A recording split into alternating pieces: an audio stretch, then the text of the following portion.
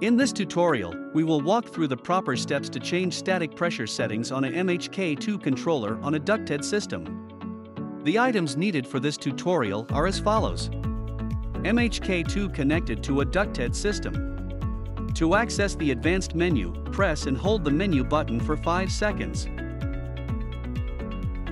Then enter the previously noted PIN code when prompted.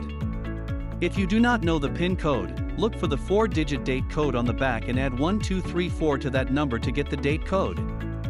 For example, a date code of 1951 plus 1234 would make the PIN code 3185. Go to the Function Codes option in the Advanced menu and touch Select. Adjust IUFC code Mode 8 to 1, 2, or 3.